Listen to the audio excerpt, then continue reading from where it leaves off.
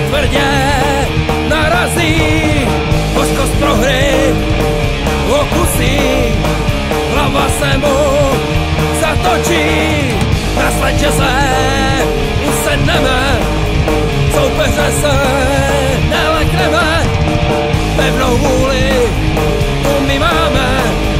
každý trénink